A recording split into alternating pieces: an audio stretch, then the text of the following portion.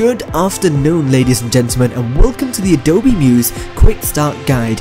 In this series we'll be creating responsive websites from scratch without a single line of code. Having said that, we'll be going over the process of taking a web design from Adobe Photoshop and bringing it into the Adobe Muse software step by step. We'll be planning the pages, setting up a master page and setting up all the elements ranging from the user interface, creating headers, links, images, menus and more. If you want to get started, just head over to the next video, download the project file in the description and get ready to create some awesome websites. If you need any help, have a question or just want to leave a bit of feedback, just let us know in the description. There's a whole community behind us. And as always, make sure you share the video, share the love and once again, keep on creating.